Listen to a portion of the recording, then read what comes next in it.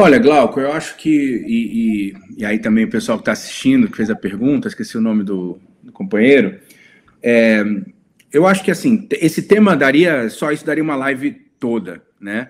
Então eu vou tentar ser bem breve, porque eu acho que, é, assim, independente da gente entrar na análise do que aconteceu na Venezuela, no processo das eleições, e, enfim, quem está certo, quem está errado, eu acho que a atitude do Brasil ela entra em contradição. O Brasil entrou em contradição com si próprio em, em dois níveis. O Brasil entrou em contradição com um princípio, com seu maior princípio diplomático, que, aliás, está na Constituição do Brasil, que diz: o Brasil não interfere em assuntos internos de outros países. Ponto. Constituição. O Brasil não é fiscal de eleição de outros países. O Brasil não tem mais legitimidade do que o Tribunal Superior Eleitoral da Venezuela para dizer quem ganhou a eleição, quem não ganhou. Então, assim, o Brasil já começou errado aí. O Brasil não teria. Se, a gente começar agora a, a, ficar julgando a eleição dos países com que a gente tem relação, isso não vai acabar bem. Né? Até porque eu não vi ninguém reclamando no Itamaraty sobre o que o Macron fez na França, né? O Macron simplesmente ignorou o resultado de uma eleição nacional, né? Rasgou, rasgando a Constituição literalmente. Você não vê ninguém no Itamaraty reclamando, dizendo que o Macron é ditador, ou que o Macron, que a democracia na, na, na França está sob ameaça, né? Então, assim, né, é complicado essa posição da gente agora ficar fazendo julgamento da, da eleição dos outros, né? Então, essa é a primeira coisa. A segunda questão, vamos lembrar que quando o presidente Lula foi eleito, assumiu em 1 de janeiro de 2023, o que, que ele anunciou desde então como a prioridade número um da política externa brasileira, desse mandato, é a integração sul-americana. Ora, com esse ato, o Brasil enterrou a possibilidade de integração sul-americana.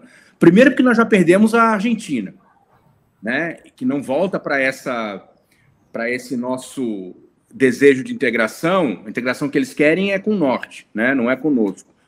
É, então nós já perdemos a Argentina nós, se nós perdemos, perdendo a Venezuela, que é uma das maiores economias do continente e que na verdade teria um potencial gigantesco de ser, né, a, a, a, talvez até a terceira maior economia do, do, da América do Sul, se, se as suas reservas de petróleo pudessem de, de novo ser exploradas, né, é, o Brasil, que integração sul-americana o Brasil quer fazer?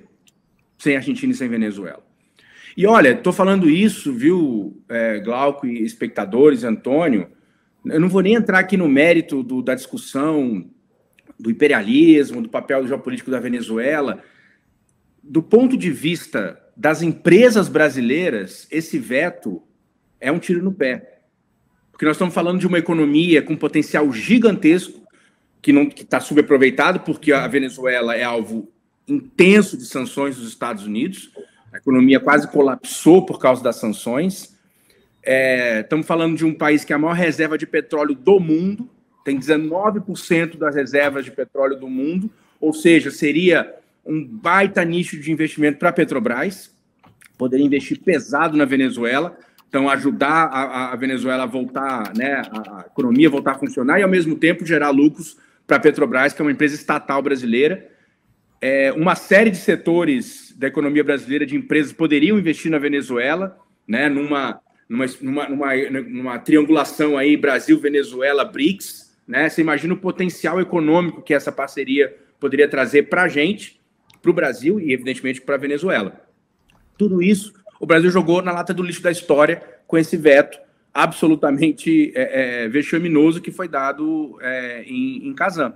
Né? Então, só por isso já é um absurdo o que o Brasil fez com a Venezuela. Para não falar de toda a solidariedade de todos esses anos, todo o processo do golpe contra a presidenta Dilma, a prisão do Lula, toda a solidariedade que a Venezuela sempre, sempre teve, não titubeou em nenhum momento, é, inclusive na, no, durante, durante as últimas eleições, com as acusações de fraude eleitoral do Bolsonaro, depois com a tentativa de golpe no, no 8 de janeiro, a Venezuela nunca titubeou em apoiar o Brasil e agora recebe né, como, como gentileza, como retribuição, é, essa literalmente essa facada nas costas que foi dada é, em, em Kazan contra a Venezuela.